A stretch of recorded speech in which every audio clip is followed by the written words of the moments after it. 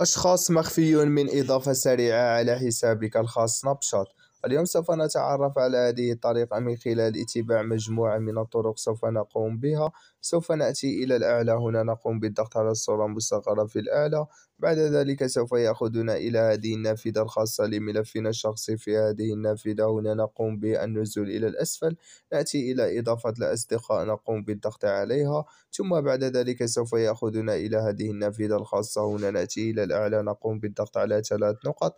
بعد ذلك سوف تظهر معنا نافذة على هذا الشكل نأتي إلى مخفي من إضافة سريعة نقوم بالضغط عليها. وهنا سوف تجد أشخاص تم إخفاؤهم من إضافة سريعة على حسابك الخاص شات ويعني وهنا نكون قد قمنا بالتعرف على هذه النافذة الخاصة هنا في هذه النافذة. نتمنى أن تكونوا قد استفدتم. لا تنسوا الاشتراك والضغط على زر لايك ونلتقي في فيديو آخر إن شاء الله.